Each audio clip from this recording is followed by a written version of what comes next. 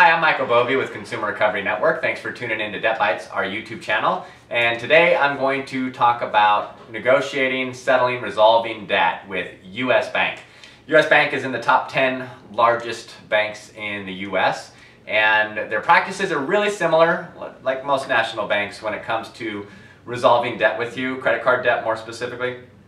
When you're unable to make your minimum payments to US Bank and if all you need is maybe some kind of temporary reprieve where they'll reduce your uh, monthly payments, like chop down the interest rate, even down to zero in some cases, uh, tempor temporarily or long term.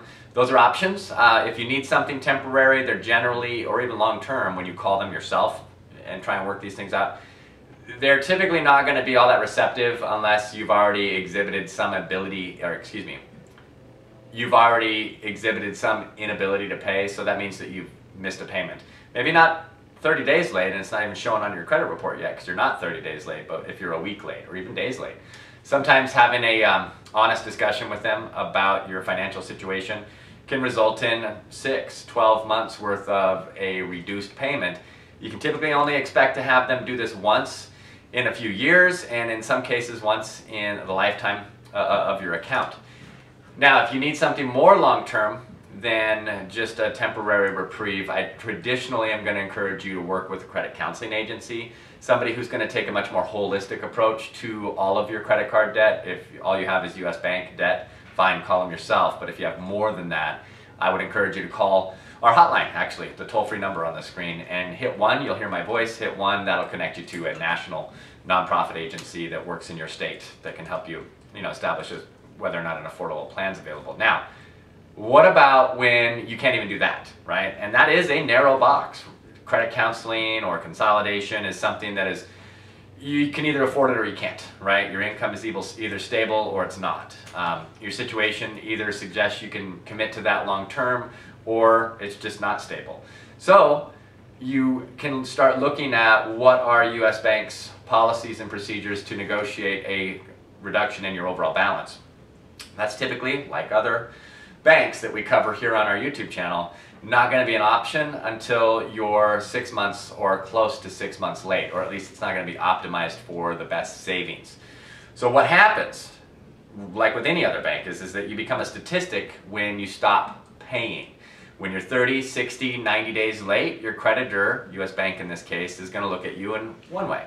As you cross over that 90 day late period, your creditor is going to look at you a different way. You're even more of a statistic, and their turnaround options are going to start to resemble, oh, okay, how do we lose the least on this account? And that means that they're more open to negotiating a balance reduction. I encourage you to try and come up with a plan to resolve a debt through settlement with US Bank by giving them one payment.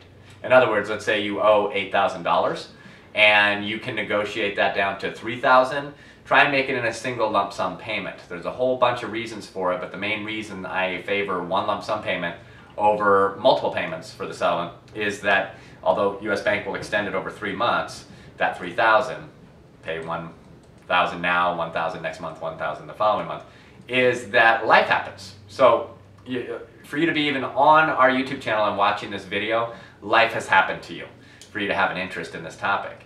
So why is that going to change in the next couple of months? I don't like it, and I've seen this enough to make me raise this caution. That you engage in a settlement payment and you make the first or second payment, but you don't make the following payment, and suddenly now the deal's off, right? Because you didn't follow through with what was agreed to.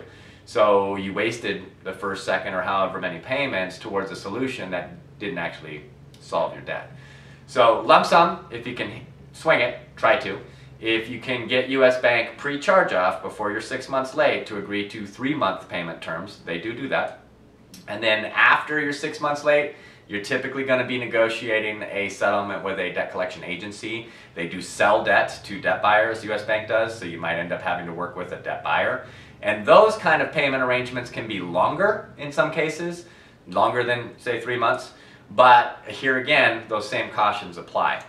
So is US Bank negotiable? Absolutely, but you have to be late enough, which means your credit is, you know, impaired.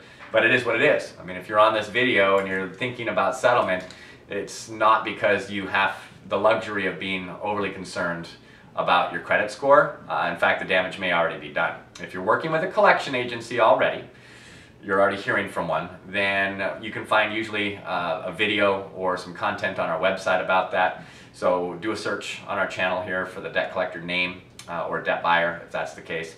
The same thing would apply on the CRN website, consumerrecoverynetwork.com. Thanks for tuning in. See you on the next video.